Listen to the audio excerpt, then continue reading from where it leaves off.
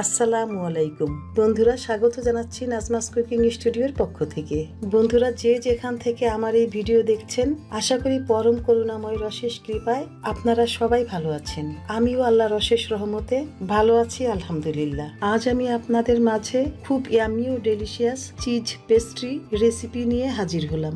আশা করি এই সহজ ও অসম্ভব মজার চিজ পেস্ট্রি রেসিপিটি আপনাদের অনেক বেশি ভালো লাগবে। এবং সকাল বিকেলে চায়ের সাথে এই পেস্ট্রিটি খুবই হেলদি হবে। অপরদিকে বাচ্চাদের জন্য এই মজার চিজ পেস্ট্রি রেসিপিটির কোনো জুড়ি নাই। তাহলে চলুন অসম্ভব মজার চিজ পেস্ট্রি রেসিপি তৈরি প্রণালীর ভিডিও দেখে নিজেরাও ঘরে বানিয়ে পরিবেশন করি।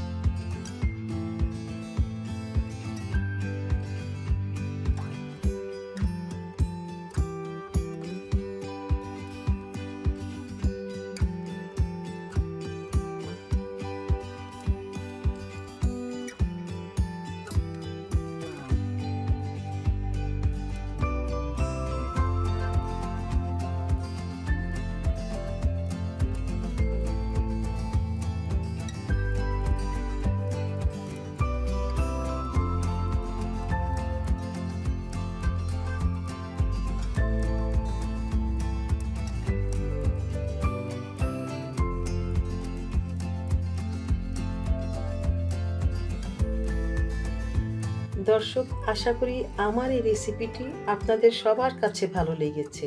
আর ভালো লাগলে আমার এই ভিডিওতে একটি লাইক দিয়ে কমেন্টের মাধ্যমে এই রেসিপি সংক্রান্ত আপনার ভালো লাগা বা মন্দ লাগা, মূল্যবান অজানা বিষয়গুলো আমার সাথে শেয়ার করে সহজ ও সাবলীল উত্তর দেওয়ার সুযোগ করে দিন প্লিজ আর ভিডিওটি শেয়ার করার জন্য অনুরোধ রইল আপনার ফ্রেন্ডস অ্যান্ড ফ্যামিলির মাঝে। দর্শক, কোনো ভুল ত্রুটি হলে অবশ্যই ক্ষমা সুন্দর দৃষ্টিতে দেখবেন। আমার পরের ভিডিওটি দেখার জন্য আপনাদের সবাইকে আমন্ত্রণ জানাচ্ছি। সবাই ভালো থাকবেন, বিদায় নিচ্ছি তাহলে। আল্লাহ হাফেজ।